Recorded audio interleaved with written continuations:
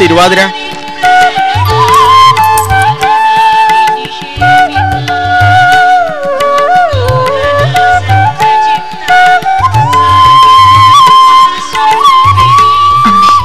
രക്ഷിക്കണേ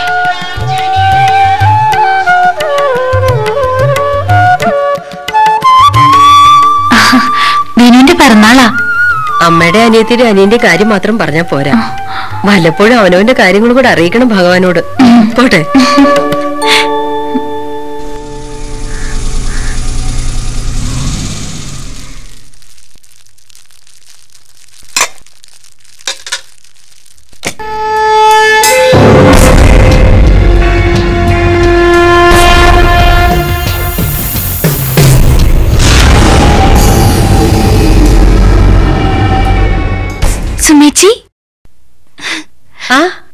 മോൾ വാ. ഗംഗ എവിടെ? ചേച്ചി അമ്പലത്തിൽ പോയി. ഇന്നെന്റെ പിറന്നാളാ ചേച്ചി. ആഹാ ആണോ? ഇന്ന് അനിയന്റെ പിറന്നാളാ? അങ്ങനെയാണെങ്കിൽ അനിയനൊരു പിറന്നാൾ സമ്മാനം കൊണ്ടാ ചേച്ചി വന്നിരിക്കുന്നേ. പിറന്നാൾ കാരണം ഷർട്ട് പാന്റ് അല്ലെങ്കിൽ എന്തെങ്കിലും സ്വീറ്റ്സ്. അതാണല്ലോ കൺവെൻഷണൽ പ്രസന്റേഷൻ എന്റെ അമ്മായി മോന്റെ പിറന്നാളിന് ഞാൻ കൊണ്ടുവന്നിട്ടുള്ള സമ്മാനം എന്താണെന്നറിയോ? നോക്കണം. ആ നിങ്ങൾ കാണ് എമൗണ്ട് കണ്ടില്ലേ? മുപ്പത് ലക്ഷം. ഇത്രയും വലിയൊരു ബർത്ത്ഡേ ഗിഫ്റ്റ് ഈ നാട്ടിലെ മറ്റാർക്കും കിട്ടിയിട്ടുണ്ടാവില്ല. മോൻ കണ്ണടച്ച് തൊഴുത് മേടിച്ചോ. മോളിത് എന്തൊക്കെയാ പറയുന്നേ? അമ്മായിക്ക് മനസ്സിലായില്ല? പതിനഞ്ച് സെന്റ് സ്ഥലത്തിനും ചാകാറായി ഈ വീടിനും കൂടി മുപ്പത് ലക്ഷം രൂപ ഓഫർ ചെയ്യ സുമേച്ചി എന്താ നീതിക്കൊരു ഗദ്ഗതം? സന്തോഷം കൂടിയിട്ടല്ലേ മാർക്കറ്റ് വിലയുടെ മൂന്നിരട്ടി മുന്നിൽ വരുമ്പോ ആരായാലും ഒന്ന് വിതുമ്പും. എല്ലാം ഏട്ടനോട് പറഞ്ഞതല്ലേ? അച്ഛന്മാര് തോൽക്കുമെന്നാവുമ്പോ മക്കൾ രംഗത്ത് വരും. എന്റെ അച്ഛൻ ശ്രീധരനെ അദ്ദേഹത്തിന്റെ സഹോദരയുടെ മക്കളുടെ മുന്നിൽ തോറ്റു പോവാൻ ഈ മോൾ സമ്മതിക്കില്ല. ഇരുപത്തഞ്ച് ലക്ഷം വരെയല്ലേ അച്ഛൻ വില പറഞ്ഞേ? ദാ അഞ്ചു ലക്ഷം രൂപയാ ഒറ്റയടിക്ക് ഞാൻ കൂട്ടിത്തരുന്നേ. അറിയാലോ എത്ര വലിയ ആവശ്യക്കാർ വന്നാലും പത്ത് ലക്ഷത്തിൽ കൂടുതൽ വില പറയാത്ത ഈ പ്രോപ്പർട്ടിക്ക്. മുപ്പത് ലക്ഷ പറഞ്ഞിരിക്കുന്നേ. മുപ്പത് ലക്ഷം. തീർന്നില്ല. കെട്ടാൻ പോകുന്ന സൂപ്പർ സ്പെഷ്യാലിറ്റി ഹോസ്പിറ്റലിൽ ഗംഗയ്ക്ക് വിവൾക്കും ഓരോ ജോലി. മോളെ നോക്ക് ഗംഗ പറഞ്ഞതല്ലേ? ഗംഗ ഗംഗ ഗംഗ. മന്ത്രം ജപിക്കുന്ന പോലെ എപ്പോഴൊരു ഗംഗ. അവൾ ആരാ? ദൈവോ? ദേ നിങ്ങൾക്ക് അഭിമാനം രക്ഷിക്കാൻ കിട്ടുന്ന അവസാനത്തെ അവസര നല്ല കാശ് വാങ്ങി. നിങ്ങളായിട്ട് മാറി തന്നൊന്ന് നാട്ടുകാരുടെ മേന് പറയാൻ പറ്റിയ ചാൻസ് അതല്ല മത്സരിക്കാൻ തന്നെയാ ഭാവമെങ്കിൽ. തോൽക്കുക മാത്രമല്ല തല മൊട്ടയടിച്ച് പുള്ളുകുത്തി ഈ നാട്ടിൽ നിന്ന് തന്നെ പറഞ്ഞയക്കും. അറിയാലോ? കളരിക്കൽ ശ്രീധരന്റെ മോൾ സുമിയായി പറയുന്നേ.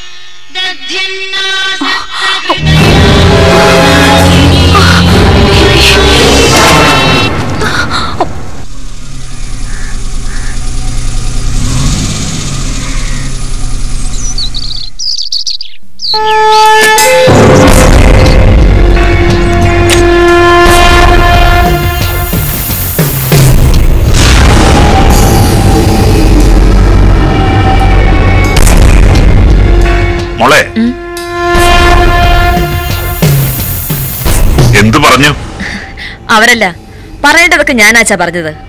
ഒരാഴ്ച ഒറ്റ ഒരാഴ്ച. അതിനുള്ള ഒരു മറുപടി കിട്ടിയില്ലെങ്കിൽ അടുത്തത് എന്താ ചെയ്യേണ്ടതെന്ന് എനിക്കറിയാം.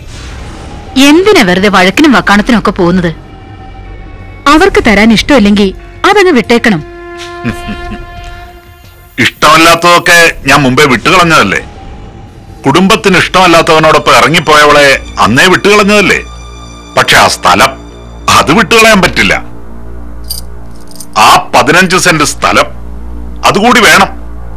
അതില്ലെങ്കിൽ എന്റെ ഈ ഡ്രീം പ്രോജക്റ്റിന് ഫ്രണ്ടേജ് കിട്ടില്ല. അതെനിക്ക് കിട്ടിയേ പറ്റൂ. ചിതാഭസ്മം വെച്ചിരിക്കുന്ന സ്ഥലം.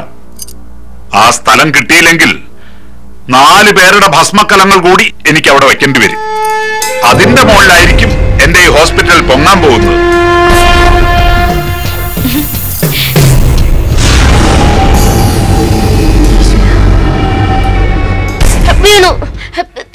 വീണു. വീണു. ഇവിടുത്തെ അനന്തരവൻ. അല്ലല്ല. സുഭദ്രാമയുടെ ഏഴേ മോൻ. വീണു. തല ചുറ്റി വീണു. ബോധം കിട്ടു പോയെന്നേ.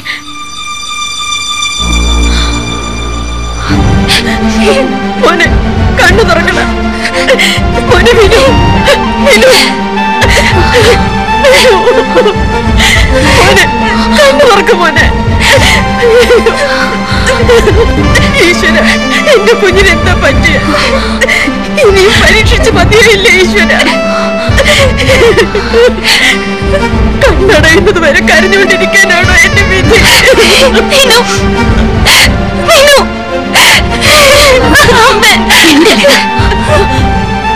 ശബ്ദം പുറത്തു വരരുതെന്നാ പറഞ്ഞേ.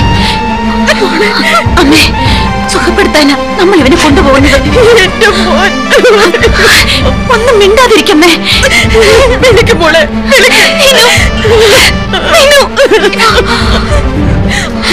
ചേച്ചി. ഒന്നുമില്ല മോനെ മോൻ കിടന്നു.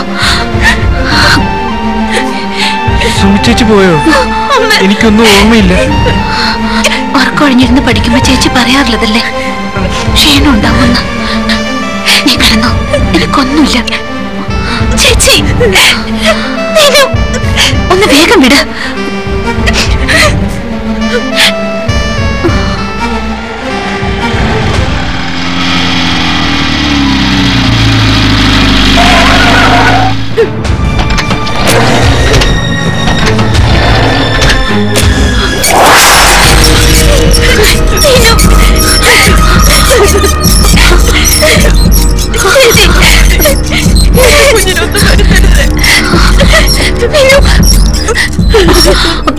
ആരെങ്കിലും ഒരാൾ കയറിയാ മതി. അമ്മേ ഞാൻ പൊക്കോളാം. നിങ്ങൾ അവിടെ നിന്നോ. വേഗം വിഷുവിനെ വിളിക്കും. ചേച്ചി. അത് ഞാൻ പറഞ്ഞോളാം. നീ പോയി വിളിക്കും.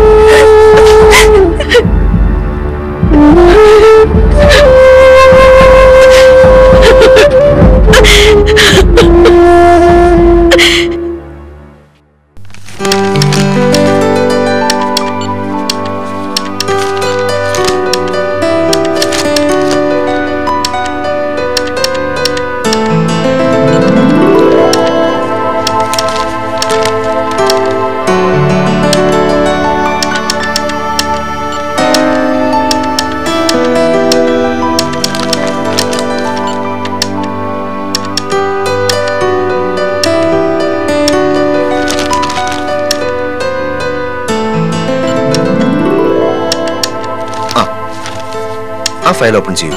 വിശ്വൻ തനിക്കൊരു ഫോണുണ്ട്. ദാ. ഹലോ? ഞാൻ ഭാഗ്യ. എന്താ ഭാഗി ഈശ്വരേട്ടാ എന്താ? ഞാൻ ഹോസ്പിറ്റലിൽ വിളിക്കുന്നത് എന്താ കാര്യം? സുഖമില്ലാതെ ഹോസ്പിറ്റലിലാ. എന്നിട്ട് എന്താ എന്നെ അറിയിക്കാത്ത? ആ ഞാൻ അങ്ങോട്ട് വരാം. ശരി.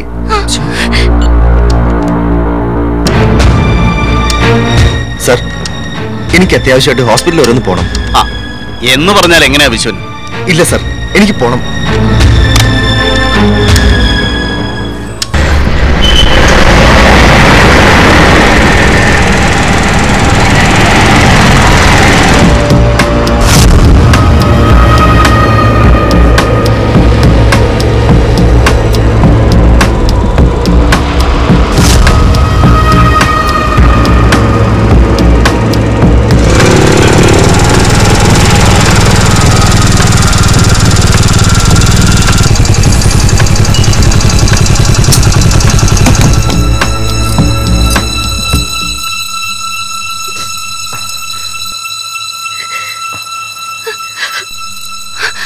വിശ്വേട്ടാ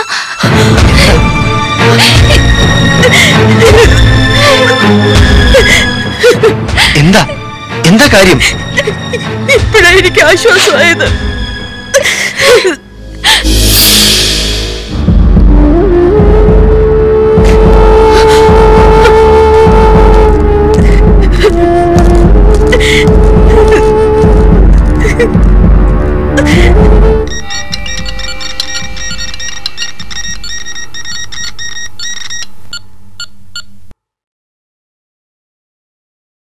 അല്പം കോംപ്ലിക്കേറ്റഡാ അല്പമല്ല തുറന്നു പറയാം. അനിയന്റെ കണ്ടീഷൻ സീരിയസാ കുറച്ചുകൂടി വ്യക്തമായിട്ട് പറയാം. ഏത് സമയവും. ചിലപ്പോൾ അത് അടുത്ത നിമിഷമാ. അല്ലെങ്കിൽ അടുത്ത ദിവസം. ചിലപ്പോൾ ഗംഗ ഒരു വർഷത്തിനപ്പുറം. അത്യപൂർവമായ ഒരു രോഗത്തിന് അടിമയാണ് വിനു. രക്താർബുദം. ചികിത്സയുണ്ട്. ഒരു ഏഴ് ലക്ഷം രൂപയെങ്കിലും ചെലവ് വരുന്ന ചികിത്സയാ.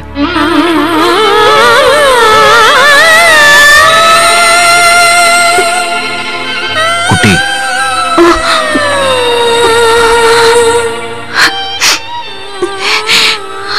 ഡോക്ടർ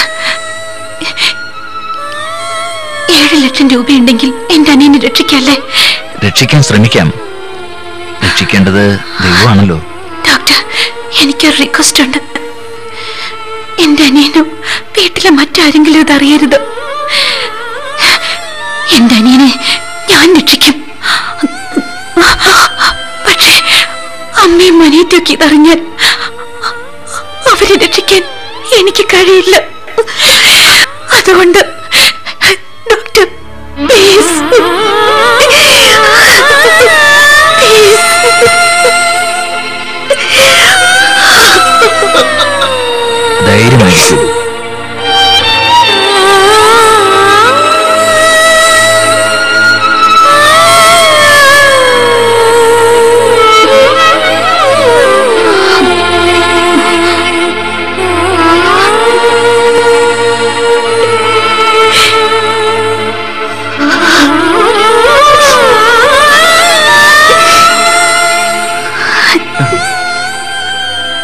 എന്താ ചേച്ചി?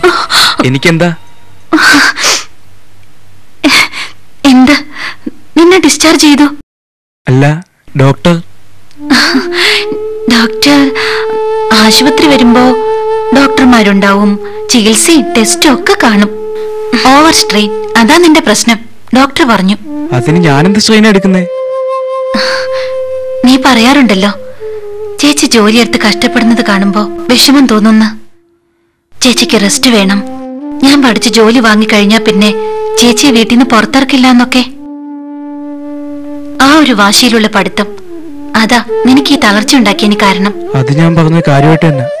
ചേച്ചി ടെക്സൈസിൽ മോഡലായിട്ട് നിന്ന് ആലോചിക്കുമ്പോ എനിക്ക് വിഷമം വരും. എടാ മറ്റുള്ളവർക്ക് വേണ്ടി അധ്വാനിക്കുന്നതേ അതൊരു രസാടാ. സന്തോഷാണ്. വിഷമിച്ചോണ്ടല്ല. സന്തോഷത്തോടെ ചേച്ചി ജോലി ചെയ്യുന്നേ.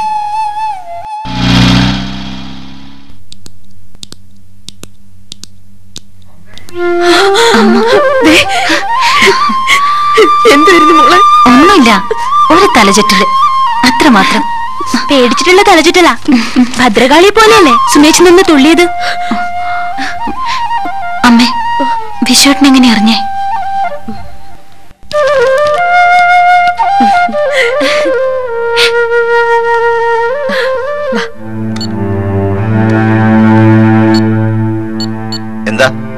ഞാൻ അറിയാൻ പാടില്ലേ? സുമിയുടെ മാഷം കൂടിയല്ലേ? അവിടെ നിന്ന് അറിഞ്ഞു കാണും. അതോ ആരെങ്കിലും വിളിച്ചു പറഞ്ഞോ? പറഞ്ഞറിഞ്ഞതോ വിളിച്ചറിയിച്ചതാവട്ടെ. അറിഞ്ഞാൽ വരാൻ എനിക്ക് അവകാശമല്ലേ? അല്ല ക്ലാസ് ഒക്കെ കളഞ്ഞിട്ട് വന്നാൽ ജോലിക്ക് പോവാതെ വിനുവിനെയും കൊണ്ട് ഗംഗ ഇങ്ങോട്ട് ഓടിയതോ? ഞാനപ്പോ മറ്റൊരാളാ അല്ലേ? അല്ല അത് എന്തല്ല?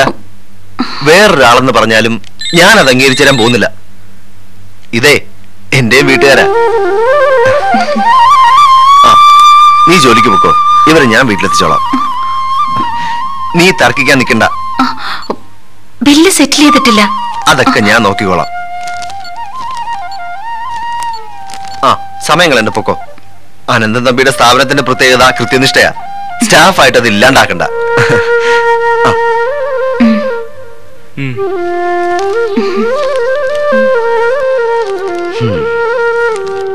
നിങ്ങൾ വണ്ടി ഇരുന്നോളൂ ബില്ല് ഞാൻ സെറ്റിൽ ചെയ്തിട്ട് വന്നോളാം.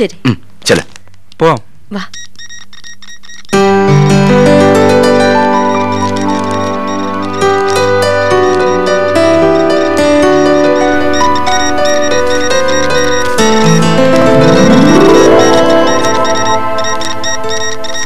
ഇത് പേ ചെയ്തല്ലോ. എന്താ? ഇതിന്റെ കാശ് തന്നു കഴിഞ്ഞു. ആര്? അതറിയില്ല. കാശ് അടച്ചു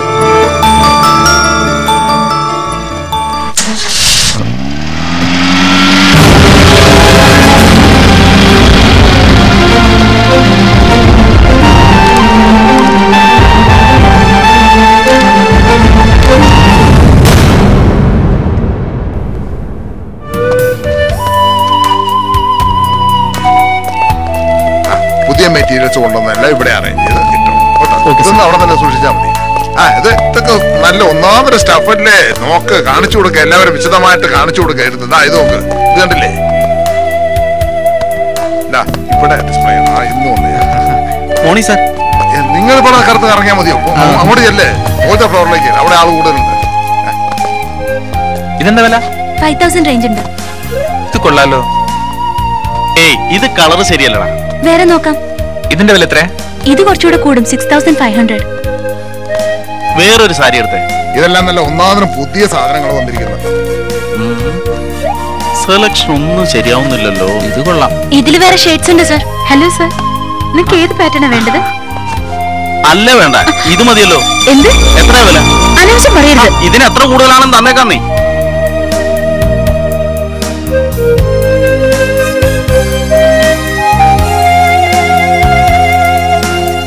ഗുഡ് മോർണിംഗ്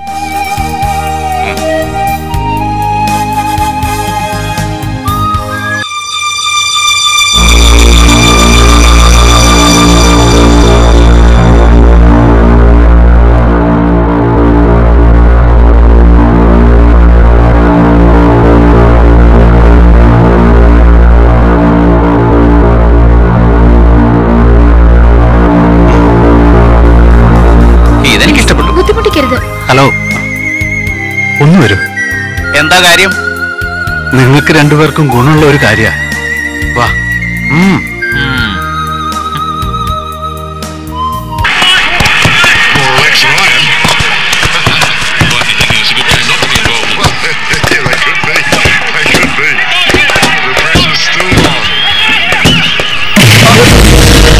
എന്താ? എന്താ ഇതൊക്കെ? നമ്മുടെ സ്റ്റാഫിനെ ഇൻസൾട്ട് ചെയ്തു. എന്ത് ഇൻസൾട്ടിങ്? അതെ എന്ത് ഇൻസൾട്ട്? സാരിയുടെയും ചുരിദാറിന്റെ വില ചോദിച്ചു. അത് ഇൻസൾട്ട് അല്ല. സാർ ഞങ്ങൾ ഇയാൾ ആവശ്യമില്ല തല്ലിച്ചു സാർ. ഇവിടെ തന്നെ ശരി ശരി. ഒന്നുകൂടെ നോക്കാം.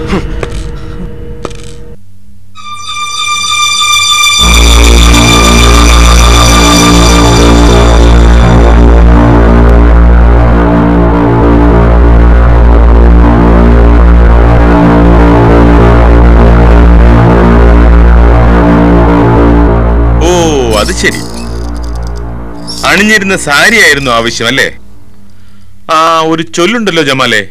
എന്താ ആ ക്ഷീരമുള്ള ഒരു അകടൻ ചുവട്ടിലും ചോര തന്നെ കൊതുകിന് കൗതുകം. ആയിരക്കണക്കിന് തുണിത്തരങ്ങൾ പുതുപുത്തനായി വച്ചിട്ടുണ്ട്. പക്ഷെ ഉടുത്തേക്കുന്ന സാരി ആരാണെന്ന് അറിയോ എസ് പിയുടെ മോനാ. ഹോം ഡിപ്പാർട്ട്മെന്റ് ആണല്ലേ? ഹലോ ഗുഡ് മോർണിംഗ് ഹോം മിനിസ്റ്ററുടെ ഓഫീസ് അല്ലേ? അതെ. അദ്ദേഹത്തെ ഒന്ന് കണക്ട് ചെയ്യാമോ? അനന്തൻ തമ്പിയാ.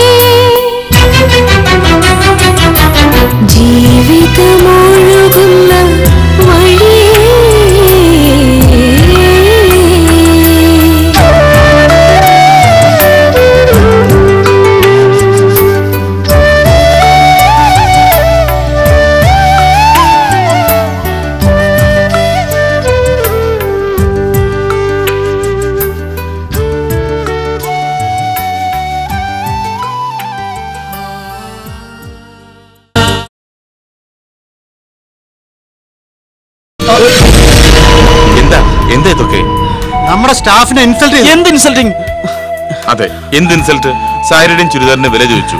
അത് ഇൻസൾട്ട് ആണോ? അതല്ല. സാർ ഞങ്ങൾ ഇയാൾ ആവശ്യമില്ല തല്ലിച്ചു സാർ. ഇവിടെ തന്നെ. ശരി ശരി. ഒന്നുകൂടെ നോക്കാം.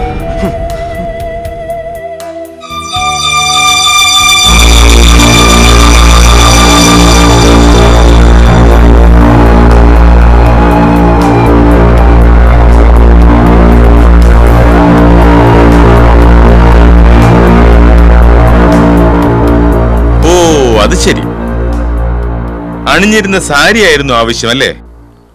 ആ ഒരു ചൊല്ലുണ്ടല്ലോ ജമാലെ. അത് പിന്നെ എന്താ ആ ക്ഷീരമുള്ള ഒരു അകടൻ ചുവട്ടിലും ചോര തന്നെ കൊതുകിന് കൗതുകം.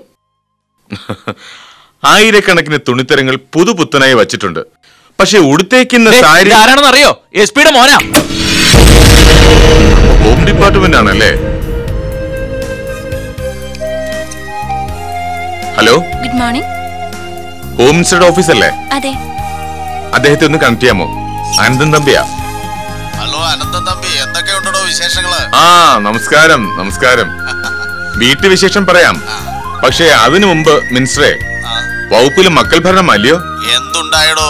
അല്ല പഴയ ജന്മത്തിൽ ശത്രുവ ഈ ജന്മത്തിൽ മക്കളായി ജനിക്കുന്നെന്ന് പറയും. അല്ല എന്റെ മോൻ എന്തെങ്കിലും അല്ല തന്റെ മോന്റെ കാര്യമല്ല.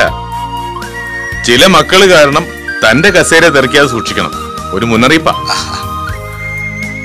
അല്ല അച്ഛൻ എവിടത്തെ എസ് പിയാ സാറ് ക്ഷമിക്കണം സാർ. ക്ഷമ ചോദിക്കുന്നവരെ നമ്മൾ അങ്ങ് വെറുതെ വിടണം അല്ലേ മിനിസ്റ്ററെ? അല്ല എനിക്കൊന്നും അതെ എനിക്കറിയാം. ഒന്നും പിടികിട്ടുന്നില്ലെന്ന്. നേരിൽ കാണുമ്പോ പറയാം. ഓക്കെ? അപ്പൊ കാര്യങ്ങൾ ഏതാണ്ടൊക്കെ പിടികിട്ടി കാണും.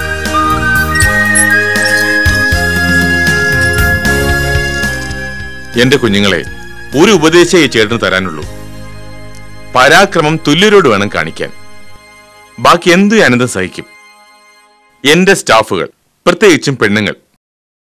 അവരോട് ആളാകാൻ ചെന്നാൽ നാടൻ ഭാഷയിൽ പറയുന്നത് പോലെ വിവരം അറിയും. സ്വന്തം സ്റ്റാഫിനെ സംരക്ഷിക്കൽ. അതാണ് ഒരു യഥാർത്ഥ മുതലാളിയുടെ ആദ്യ കടമ. മനസ്സിലായോ? അനിയന്മാരെ പോലെ ഒരുപാട് പേരുടെ അസുഖം ചികിത്സിച്ച് ഭേദമാക്കിയിട്ടുണ്ട്. പിന്നെ ഒരു കാര്യം ഇവിടെ നടന്നത് ഞാനും നിങ്ങൾ മാത്രമേ അറിയാൻ പാടുള്ളൂ. ഇതിന് പുറത്തുള്ള എന്റെ മറ്റ് സ്റ്റാഫുകൾ അവർ പോലും അറിയാൻ പാടില്ല. ആ അപ്പൊ ശരി. ഇനി താമസിപ്പിക്കണ്ട. ജമാലെ അനിയന്മാരെ പുറകിലത്തെ വാതിൽ വഴി പുറത്തേക്ക് വിട്ടെ. ആ പൊയ്ക്കോ പേടിക്കണ്ട. നടക്കടോ.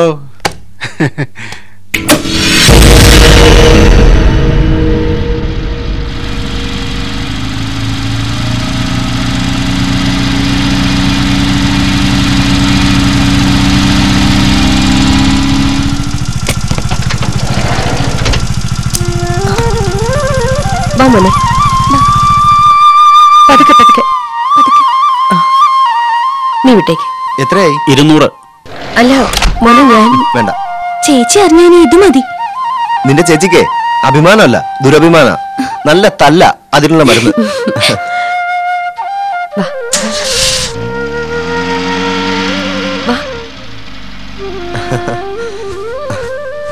അല്ല ഇന്നല്ലെങ്കിൽ നാളെ ഞാനിവിടെ തന്നെയാണ് വന്ന് കയറാൻ പോണേ. പിന്നെ ഞാനൊന്ന് ചികിത്സിക്കുന്നുണ്ട്.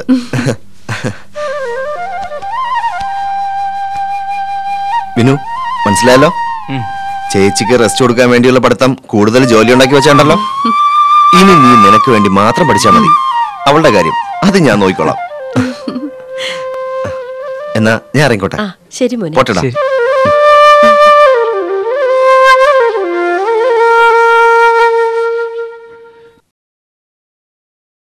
മോനെ. എന്താ അല്ല പറയുന്നത് ശരിയല്ലെന്നറിയാം. പക്ഷെ ആഗ്രഹങ്ങളും മോഹങ്ങളും അടക്കി നിർത്താൻ പറ്റാതെ വരുമ്പോ മനസ്സിലുള്ളത് തുറന്നു പറഞ്ഞു പോവും അല്ലേ? നിങ്ങൾ തമ്മിലുള്ള വിവാഹം എത്രയും പെട്ടെന്ന് നടന്നു കാണണം. സത്യം പറഞ്ഞ മോളുടെ ഭർത്താവാകാൻ പോകുന്ന ആളായിട്ടല്ല എന്റെ മോനായിട്ടാ ഞാൻ കാണുന്നത് ഈ വീട്ടിലെ അംഗം അന്യ വീട്ടിൽ കഴിയും പോലെയാ എനിക്ക് തോന്നുന്നത് അറിയാം. ചെറുക്കന്റെ വീട്ടിൽ നിന്നാ ആലോചന ഇങ്ങോട്ട് വരേണ്ടത്. പക്ഷേ ഞാൻ പറഞ്ഞില്ലേ? മോന്റെ കാര്യത്തിൽ ചിട്ടി മുറയൊക്കെ തെറ്റിപ്പോവുക. അമ്മയ്ക്കറിയാലോ എന്റെ ഗംഗയുടെ തീരുമാനങ്ങൾ. ചെറിയ ചില കടമകൾ ഞങ്ങൾക്ക് രണ്ടുപേർക്കും ഉണ്ട് അത് പൂർത്തിയാക്കിയ പിന്നെ വീട്ടുകാർ നിശ്ചയിക്കുന്ന ഏത് നിമിഷവും ഞങ്ങൾക്ക് സമ്മതം.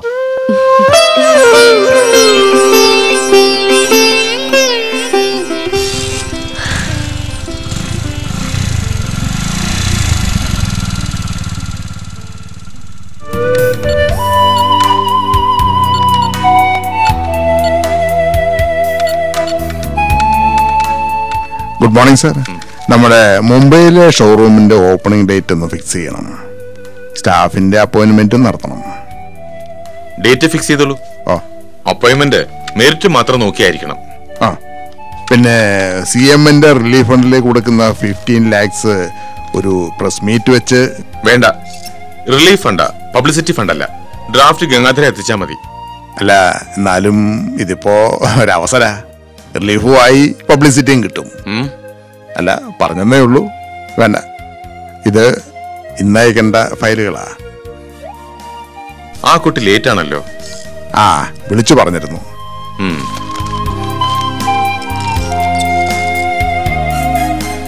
എന്താ നീ ലേറ്റ് ആയത്?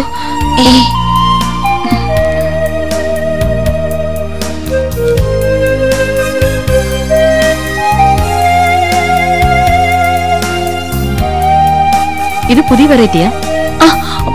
മാഡം ഇത് നല്ല സാരിയാണ്. ഇത് നല്ല വട്സാ.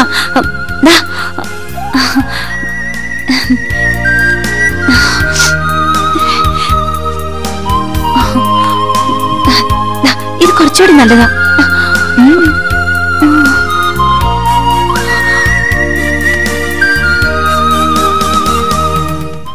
അനിയന്റെ കണ്ടീഷൻ സീരിയസ് രക്താർബുദം ഏഴ് ലക്ഷം രൂപയെങ്കിലും ചെലവ് വരുന്ന ചികിത്സ.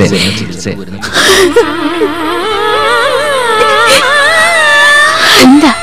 എന്താ പ്രശ്നം? ഏ ഒന്നുമില്ല. വന്നത് മൂലം ഞാൻ ശ്രദ്ധിക്കുക. നിന്നെ ഹോസ്പിറ്റലിൽ കൊണ്ടൊരു വിഷമമാണോ? അവന് കുഴപ്പമൊന്നുമില്ലെന്നല്ലേ നീ പറഞ്ഞത്. നിന്റെ മനസ്സിവിടെയൊന്നുമില്ല എടി എന്താ? അമ്മ വലിയ പ്രശ്നം ഉണ്ടാക്കിയോ? പ്രശ്നം പ്രശ്നമുണ്ട്. എനിക്ക് എനിക്ക് എനിക്ക് എനിക്ക് ഏഴ് ലക്ഷം രൂപ വേണം ഉടൻ വേണം. കിട്ടിയേ പറ്റൂ. എനിക്ക് ഏഴ് ലക്ഷം രൂപ കിട്ടിയേ പറ്റൂ. എന്തിനാ? ഏഴ് ലക്ഷം രൂപ? എന്തിനാ ഏഴ് ലക്ഷം രൂപ? എനിക്ക് വേണം.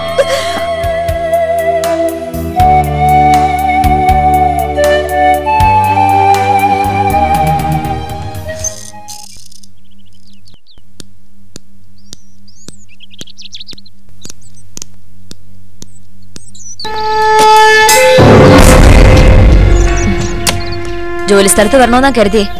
പക്ഷേ ഒരു ബിസിനസ് സെന്ററിൽ നിന്ന് മറ്റൊരു ബിസിനസിനെ കുറിച്ച് പറയുന്നത് ശരിയില്ലല്ലോ. വരാത്തത് നന്നായി. എന്റെ കൂടെ ജോലി ചെയ്യുന്നവരെ പബ്ലിക്കിന്റെ മുന്നിൽ വെച്ച് നിന്നെ തല്ലിയെന്നുള്ള ചീത്ത പേര് എനിക്ക് കിട്ടാതെ കഴിഞ്ഞല്ലോ. പണത്തിന്റെ അഹങ്കാരം കാണിക്കേണ്ടത് പാവപ്പെട്ട എന്റെ വീട്ടുകാരോടല്ല. എന്നെ കണ്ടു പേടിച്ച വിനു തലറങ്ങി വീണത്. അങ്ങനെയല്ലേ പറഞ്ഞു വരുന്നത്? എന്റെ ഗംഗേ ദേ അവന്റെ ഈ തലചുറ്റിൽ അമ്പരപ്പിന്നുണ്ടായതാ. താമസിക്കുന്ന വീടിനും പറമ്പിനും ഞാനിട്ട് വില കേട്ടിട്ടുള്ള അമ്പരപ്പ്. നീ വിലയിട്ടുന്നോ? ആദ്യം സ്വന്തമായിട്ട് വില വിലയുണ്ടാക്കാൻ നോക്ക്. അത് കഴിഞ്ഞു മതി മറ്റൊന്നിന് വിലയിടുന്നത്. അഭിമാനം അങ്ങ് അസ്ഥി പിടിക്കുമ്പോഴുള്ള കുഴപ്പമാ. പടുകുഴിയിൽ വീണ് കിടക്കുമ്പോ വലിച്ചു കയറ്റാൻ കൈ നീട്ടിയാലും അതിൽ പിടിക്കില്ല. അറപ്പുണ്ടാക്കുന്ന കയ്യിൽ പിടിച്ചു കയറി രക്ഷപ്പെടുന്നതിലും ഭേദം. അകപ്പെട്ട കുഴിയിൽ കിടന്നൊടുങ്ങുന്നതാ എന്റെ അച്ഛന്റെ ആത്മാവ് വിശ്രമിക്കുന്ന മണ്ണാ അത്. മുപ്പത് ലക്ഷമല്ല മുപ്പത് കോടി വില പറഞ്ഞാലും എന്റെ അച്ഛനെ ഞാൻ വിൽക്കില്ല. കുറച്ച് ചാടുമ്പോ ഒന്ന് ആലോചിക്കണം. ഏതെങ്കിലും സമയത്ത് ചിലപ്പോ വാലാട്ടി നിൽക്കേണ്ടി വരും. നീ എന്നെ ഏത് ജന്തുവിനോട് ഉപമിച്ചതെന്ന് എനിക്ക് മനസ്സിലായി. എനിക്കൊരു ദേഷ്യമില്ല. നായ കുറിച്ചു ചാടുന്നത് കള്ളന്മാരെ നേർക്ക. വാലാട്ടുന്നത് നന്ദി കാണിക്കേണ്ടവരെ മുന്നിലും. പരിചയമില്ലാത്തവർ ഇട്ടുകൊടുക്കുന്ന പദാർത്ഥങ്ങൾ അത് തൊടില്ല. അച്ഛൻ തോൽക്കാതിരിക്കാൻ മകൾ ഇറങ്ങിയെന്നറിഞ്ഞു അച്ഛനോടും മകളോടും എനിക്കൊന്നേ പറയാനുള്ളൂ. തോറ്റുപോകും. രണ്ടുപേരും തോറ്റുപോകും എന്താ? എന്താ പ്രശ്നം? പ്രശ്നങ്ങളെല്ലാം താമസിക്കാതെ അവസാനിക്കും. അല്ല അവസാനിപ്പിക്കും. വിശ്വനും അച്ഛനും ഞങ്ങളുടെ സ്റ്റാഫാ. എന്ന് വെച്ചാ ഞങ്ങളുടെ ശമ്പളമാണ് വിശ്വന്റെ വീട്ടിലെത്തുന്നത്. എന്തിനും വിശ്വം ഞങ്ങളോടൊപ്പം വേണം നിൽക്കാൻ.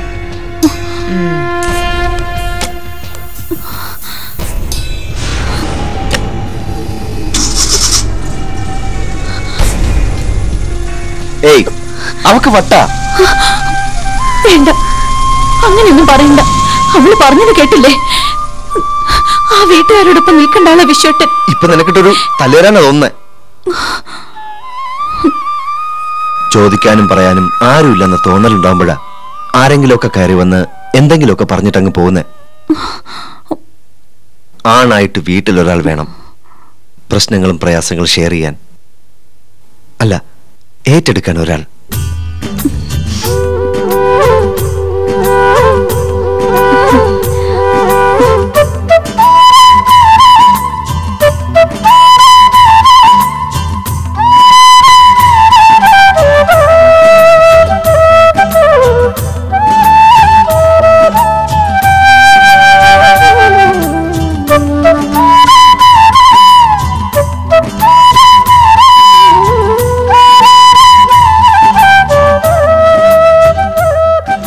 കാര്യം പറയാൻ മറന്നു.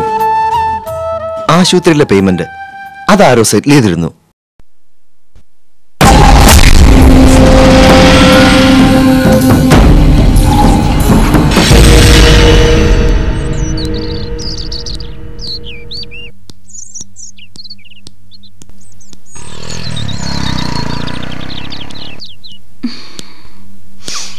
ഒന്ന് നടക്കേച്ചി ശ്ശോ, എന്തൊരു വെയിറ്റ്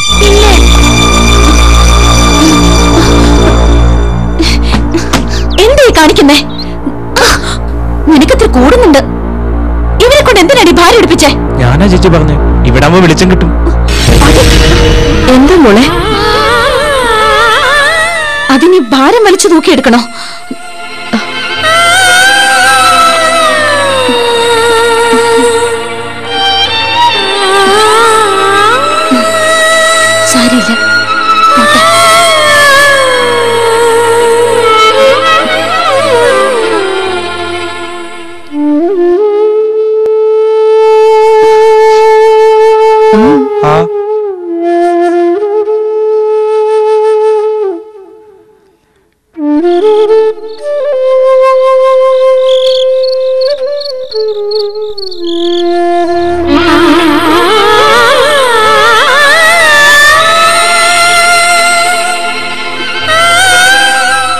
കണ്ടീഷൻ സീരിയസ് സീരിയസ് രക്താർബുദം. ഏഴ് ലക്ഷം രൂപയെങ്കിലും ചെലവ് വരുന്ന ചികിത്സ ചികിത്സ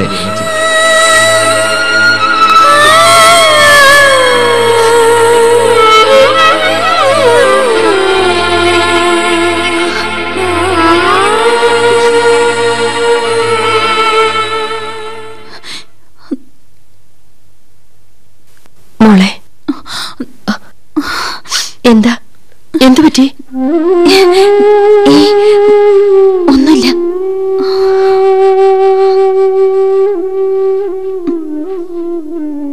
മോളെ എന്റെ ഏട്ടനെ എനിക്ക് നല്ലോണം അറിയാം. ദ്രോഹിക്കും. സ്വസ്ഥമായിട്ട് ഉണ്ണാനും ഉറങ്ങാനും ഒന്നും സമ്മതിക്കില്ല. വേണ്ട. ഉണർന്നിരിക്കാനാണ് ഞാൻ തീരുമാനിച്ചിരിക്കുന്നത് അപ്പോഴോ? സഹോദരിയും കുടുംബവും ദൂരെ എവിടെയോ കിടന്ന് അവസാനിച്ചോളൂ എന്ന് പ്രതീക്ഷിച്ചേ. ഉർവശി ശാപം ഉപകാരം അങ്ങനെ കരുതി. അച്ഛനോടൊപ്പം അമ്മ ഇറങ്ങിപ്പോയപ്പോ മനസ്സുകൊണ്ട് സന്തോഷിച്ചിരിക്കണം. അനിയത്തിയുടെ വസ്തുവും അനുഭവിക്കാലോ. തിരിച്ചു വരുമെന്നും ഇവിടെ ഒരു വീട് ഉയരുമെന്നും അവർ പ്രതീക്ഷിച്ചില്ല. സഹോദരനല്ലേ എന്നൊരു സഹതാപം അമ്മയ്ക്ക് ചിലപ്പോ കാണും. രക്തം കൊണ്ടല്ല. മനസ്സുകൊണ്ട് ഒരുമിക്കുമ്പോഴാ കൂടപ്പുറപ്പാവുന്നേ. ദീപം. ीपं दीपम्।